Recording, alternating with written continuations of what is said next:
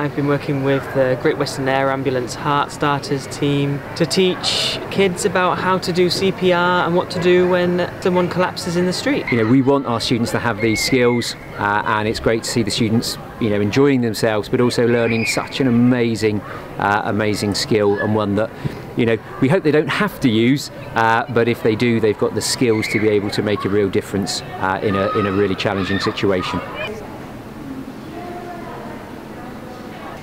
Um, and what we want to do is use the heel of the hand here.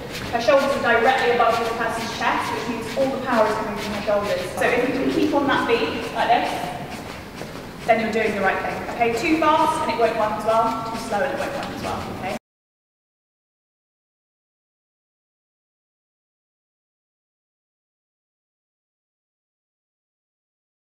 I think everybody needs to learn CPR. I think it's a life skill. We have had students from this school previously who have done CPR on strangers in the street and have saved their life, so I think it's really important.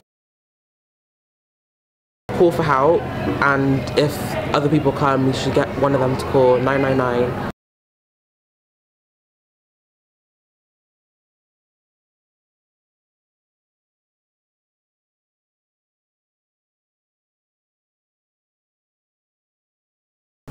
Not a lot of people know how to and if you get taught how to do it then yeah um, you could save someone's life.